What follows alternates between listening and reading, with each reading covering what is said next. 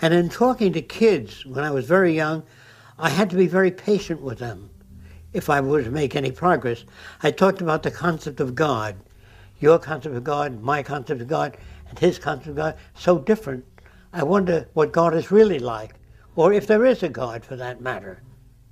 And why would God permit war and disease if he's all loving? It didn't make sense to me. Too many clashes. So I questioned that. Of course, I felt a little uncomfortable during questioning uh, the concept of God.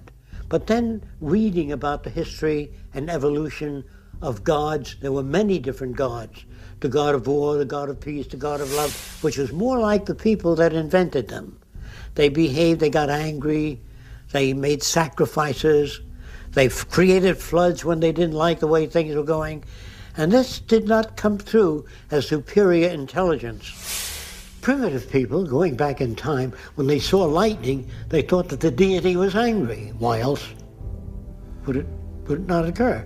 When a hurricane swept the land, they got rid of certain people in their tribe as a sacrifice, hoping that the gods would not produce a second hurricane.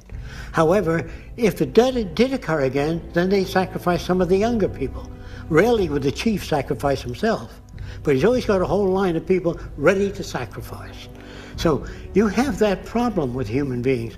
Anything that occurs beyond their comprehension, they have to invent an excuse for. They have to create gods and demons to account for things because people come to the leadership of that community. No matter how primitive the tribe, they say, how come bad wind blow people off island? I said, you not behave good. You not make not enough contribution to volcano. Throw your brother-in-law into volcano. Maybe it doesn't erupt then. So if you throw your brother-in-law into the volcano and it still erupts, you have to throw your sister-in-law in. So you get metaphysics, you get religion, you get superstition, not wood. Or you wear a rabbit's foot. Just remember that the rabbit had four of them. Didn't do him any good. So on down the line, superstition prevails wherever ignorance prevails.